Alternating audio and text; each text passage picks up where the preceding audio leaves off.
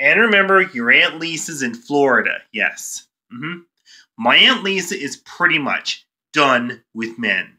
She is done with men. Because what happened, yes, Blaine did cheat on Aunt Lisa. Blaine. He was a cheater and a money rat. Yes. Mm-hmm.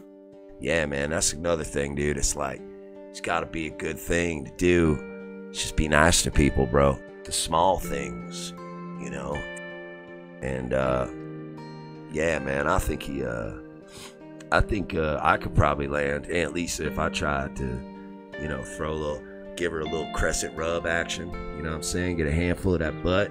What's Aunt Lisa look like, dude? Like what's uh what is Aunt Lisa's deal? Right? Like she got a what's her skin situation? Like what's her makeup situation? Tell me, brother.